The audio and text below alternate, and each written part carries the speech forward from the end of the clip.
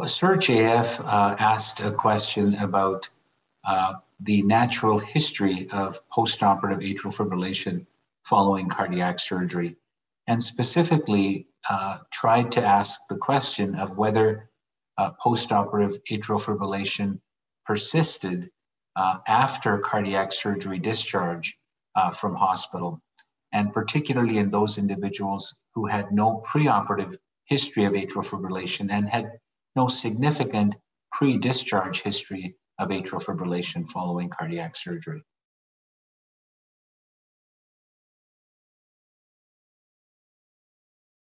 Uh, we enrolled patients uh, who had a high CHADS VASc score, who had had cardiac surgery, either coronary artery bypass graft surgery or bypass surgery and valve surgery. In fact, any type of heart surgery.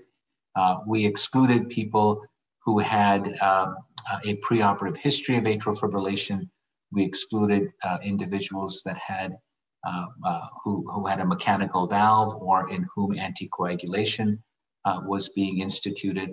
And we also excluded patients who had greater than 24 hours of atrial fibrillation within the hospital, such that we, you know, really enrolled patients who had cardiac surgery without a preoperative history of atrial fibrillation, without significant uh, in-hospital pre-discharge uh, atrial fibrillation, and we randomized them to one of two arms: usual care uh, versus uh, the use of a uh, patch device for continuous rhythm monitoring. This was either a SEEQ device or uh, a cardiostat device. Uh, this is a patch-based device that can be applied to the chest and it provides us with a continuous rhythm monitoring for approximately 30 days. The primary outcome was cumulative six minutes or greater atrial fibrillation or atrial flutter.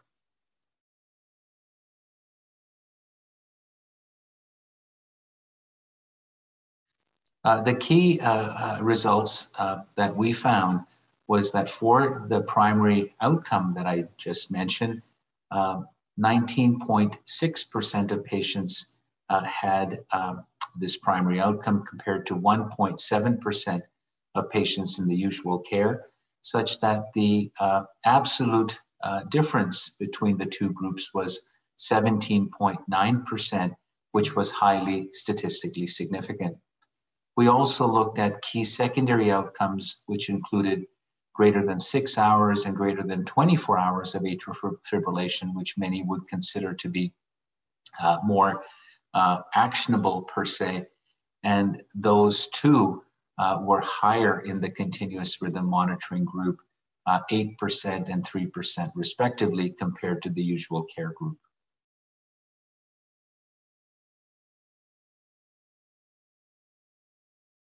I think the following key conclusions can be made from the SEARCH AF CardioLink trial. First, that postoperative atrial fibrillation is not uh, restricted to the hospital stay per se.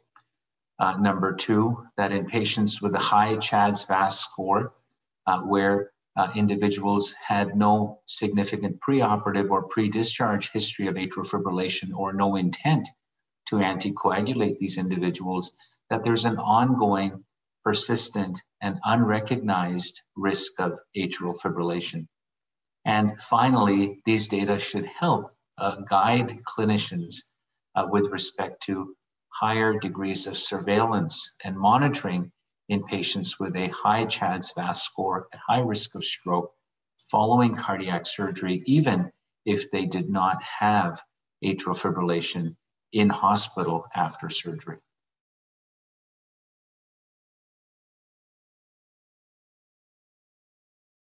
Uh, the Search AF trial, I think, is the first step, and uh, future trials will need to be developed to look at whether anticoagulation regimens should be employed in this population, or larger studies are required to be able to answer the question uh, of whether this ongoing so called subacute risk of atrial fibrillation that we are observing uh, is actually associated with an increased risk of stroke or not.